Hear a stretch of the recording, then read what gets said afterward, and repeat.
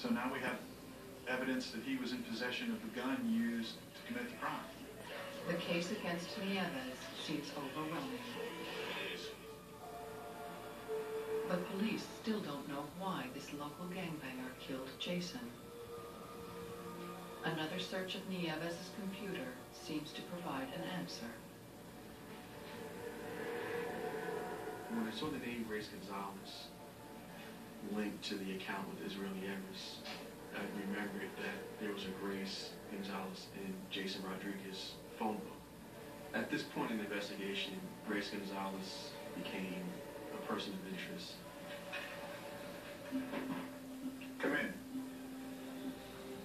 Grace is brought in for questioning.